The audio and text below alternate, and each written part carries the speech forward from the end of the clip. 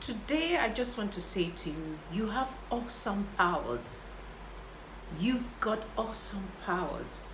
Nothing anybody says should get to you. Nothing anybody says should affect you. Because you have awesome power. But you have to believe that first. No one has any power against you. No one's power is no one's power supersedes yours.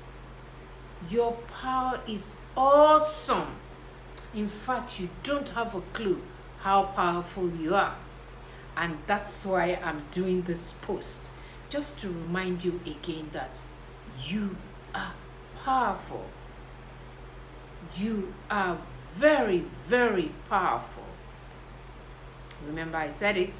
Stella Blaize says, You are very powerful.